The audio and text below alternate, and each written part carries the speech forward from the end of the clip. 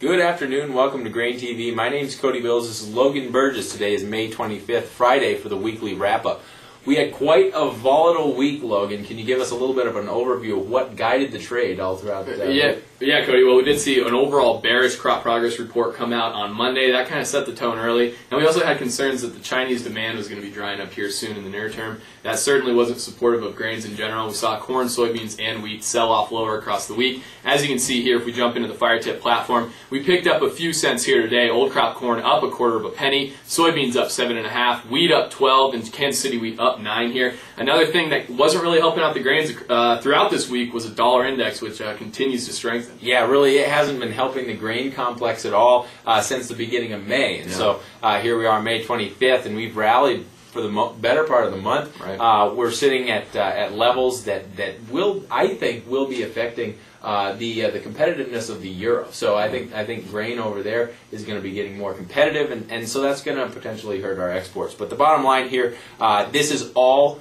uh, this this whole dollar rally is on the back of the concern over in the European Union, the concern that Greece may end up exiting the Euro- European Union. They're trying to do some sort of a contingent plans over there. Greece has uh, voting, their second round of votes on June 17th, I believe. So uh, it's still a ways off. There's a good chance we could see a little bit more legs to this rally Yeah. in the dollar. Yeah, absolutely. Well, you know, in the meantime, here, this is certainly going to remain a weather market here. We've seen weather be a huge factor in this grain market, not only abroad, you know, we've seen it in Russia and Europe, but also domestically here, certainly as well. Kind of looking into next week, right now, the market's kind of uh, factored in some beneficial rains coming into southern growing areas here. Thursday and Friday of next week. You know, if we don't get those rains, Cody, we should see this old crop corn contract certainly find some support from that. You know, right now, uh, just in the last week here, we've seen 50 cents come off the premium that July is carrying over December. So that old crop uh, corn premium is really drying up quick here. But, you know, if we don't get these rains, it's certainly going to help that out here. You know, another good thing to keep an eye on as it relates to the strength of the dollar here, like you were talking about before. Yesterday, I heard you on Ag,